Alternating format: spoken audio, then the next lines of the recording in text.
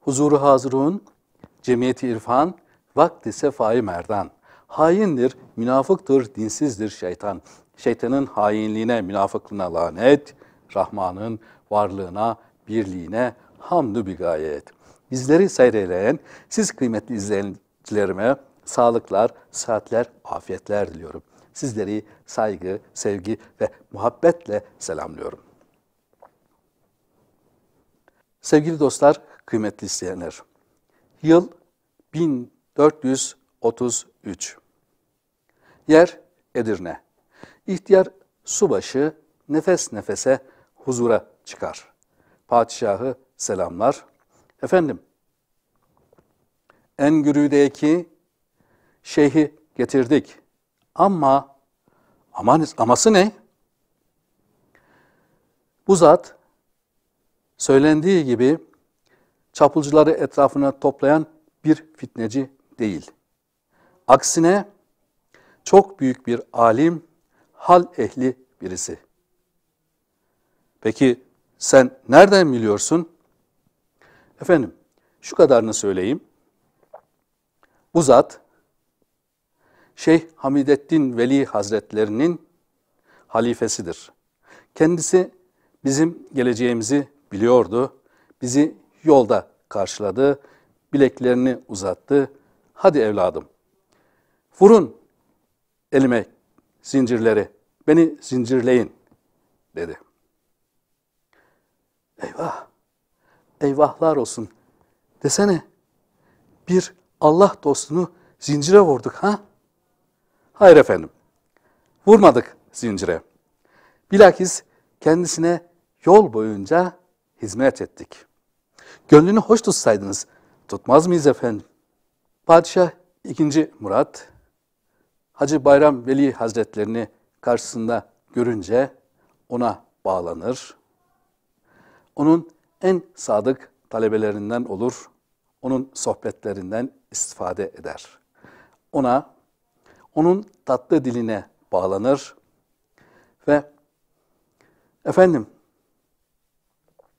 şu İstanbul'u çok fethetmeyi istedim fakat bize nasip olur mu bilmem der. Hacı Bayram Veli Hazretleri bir müddet düşündükten sonra Sultanım bunu ne siz görebilirsiniz ne de ben. Bir köşede beşik içerisinde mışıl mışıl uyuyan şehzade Fatih işaret ederek ayağa kalkar. Der ki, bunu bu yiğitle bizim Köse Ak Şemseddin görse gerek der. Hacı Bayram Veli Hazretleri padişahın tüm ısrarlarına rağmen dergahına geri döner. Padişah 2. Murat, Hacı Bayram Veli Hazretlerini huzuruna getiriliş şekline çok üzüldüğü için bir ferman çıkartır. Hacı Bayram Veli Hazretlerinin ve öğrencilerinin, talebelerinin askerlikten ve vergiden muaf tutar. Fakat bir müddet sonra Ankara'da mali denge bozulur. Tahsiller hangi eve gitse biz Hacı Bayram Veli Hazretlerine ihtisaplıyız demektedirler.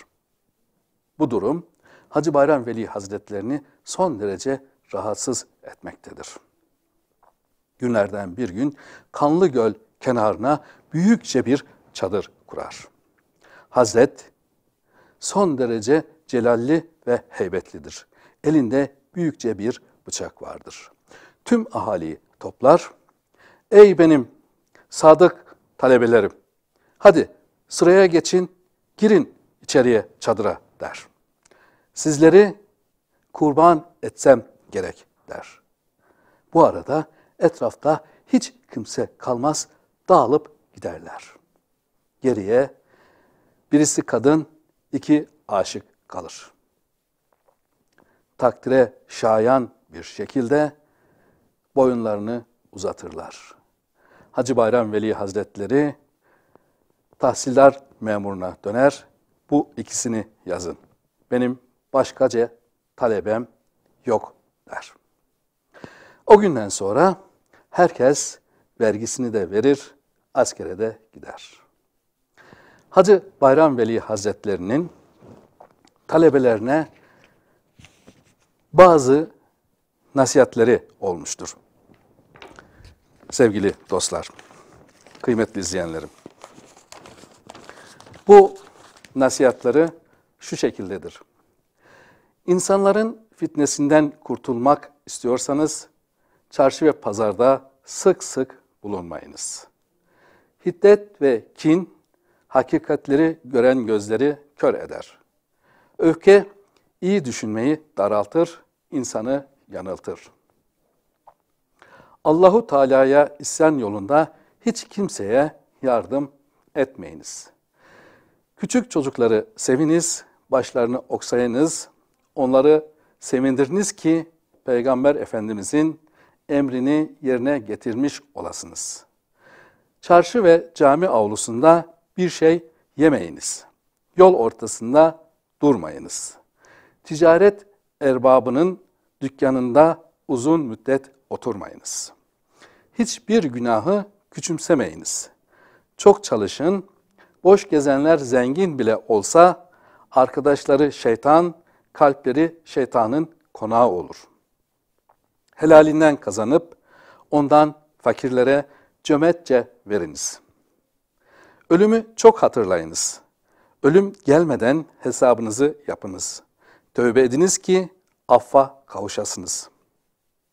Dünya gamından, nefis sıkıştırmasından kurtulmak istiyorsanız kabristanlıkları sık sık ziyaret ediniz. Ayıp ve kusurlarını gördüğünüz arkadaşlarınızın, komşularınızın sırlarını ifşa etmeyiniz. Çünkü gördüğünüz bu sırlar size emanettir. Emanete ihanetse çirkin bir harekettir. Alim ve velileri kabirlerini ziyaret ettiniz. Zira o büyükler kendilerini ziyaret edenlere şefaat ederler. Evet kıymetli dostlar, Cenab-ı Hak bizlere Allah dostlarından dost edinmeyi nasip ve müesser eylesin inşallah. Yeniden görüşünceye dek her şey gönlünüzce olsun. Her ne kadar sulçü nisan ettikse affola.